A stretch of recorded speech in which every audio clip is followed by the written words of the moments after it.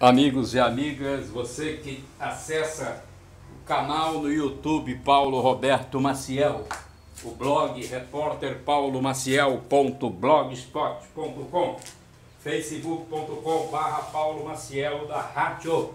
Olha, vou tirar a tintura do cabelo.